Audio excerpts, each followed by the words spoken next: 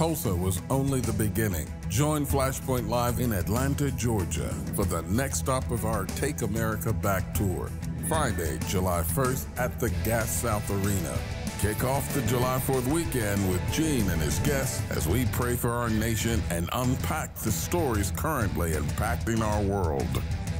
Visit us online at govictory.com slash fplive for more information and to register for this free event.